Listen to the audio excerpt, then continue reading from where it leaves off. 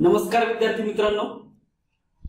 इयत्ता दहावी एनटीएस परीक्षा विषय इतिहास त्यातलं प्रकरण नंबर दोन इतिहास लेखन भारतीय परंपरा. त्यामध्ये महत्त्वाचा पॉईंट प्राचीन काळातील इतिहास लेखन.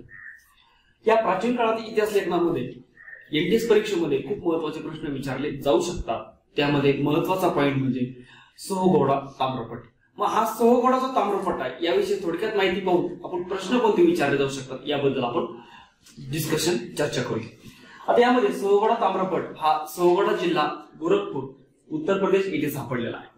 आणि तो जो ताम्रपट आहे हा मौर्य काळातला असावा असं त्या ठिकाणी सांगण्यात आलं. आणि त्यानंतर यावरील जे कोरीव काम आहे कोरीव लेख आहे ते ब्राह्मी लिपीमध्ये लिहिलेलं आहे. आणि या लेखाच्या सुरुवातीला जी चिन्ह आहेत ती चिन्ह आहेत त्यामध्ये पारासाहित असलेला वृक्ष तसेच अं, पर्वत ही चिन्ह प्राचीन आहेत आणि ही जी चिन्ह आता मी सांगितली की नाण्यांवर सुद्धा आपल्याला पाहायला मिळतात. मग हा झाला सवगड ताम्रपटातला थोडासा भाग आता यावर आधारित जर भाग पाहिला आपण तर परीक्षेमध्ये यावर खूप महत्त्वाचे प्रश्न येऊ शकतात. त्यामध्ये महत्त्वाचे दोन प्रश्न आपण बघूया. एक म्हणजे सवगोडा ताम्रपट कोठे सापडला? त्याचं उत्तर गोरखपूर उत्तर प्रदेश. या ठिकाणी सवगोडा ताम्रपट सापडले. त्यानंतर सवगोडा ताम्रपटावरील कोरीव लेख कोणत्या लिपीमध्ये आहे? तर त्याचं उत्तर आहे ब्राह्मी. ब्राह्मी लिपीमध्ये त्या ठिकाणी तो लेख आहे.